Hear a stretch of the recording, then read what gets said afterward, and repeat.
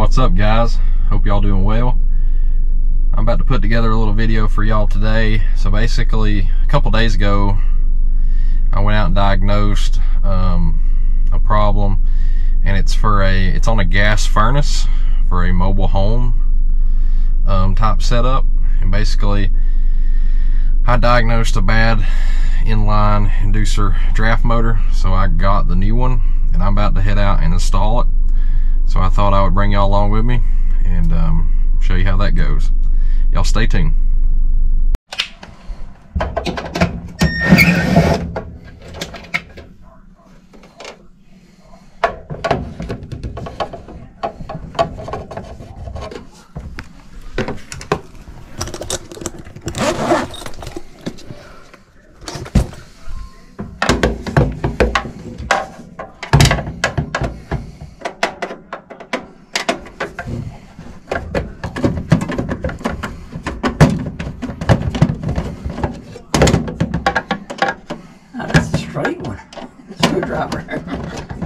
Yeah, it's actually a little bent from, uh, yeah, I know.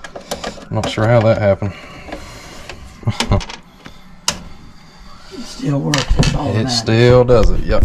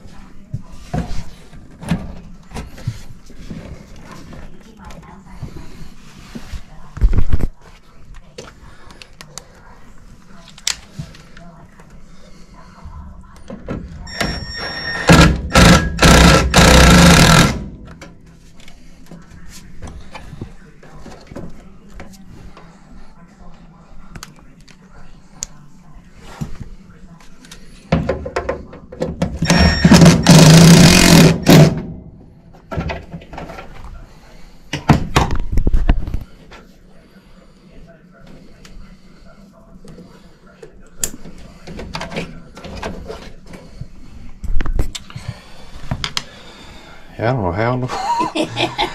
I have no idea, guys, how like that. it got ran over. Yeah, something's hit that or something. as long as it still works. Yeah, it, it will.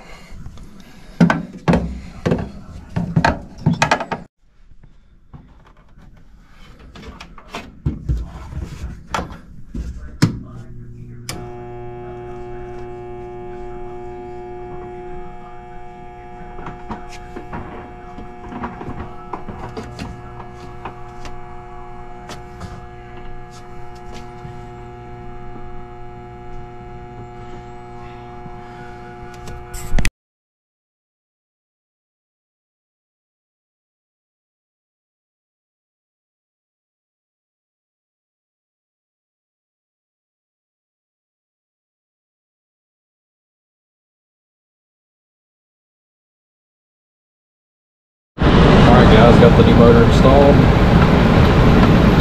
And uh, I got it fired up running. She's working good. All right, guys, just finished up with that. That was pretty quick.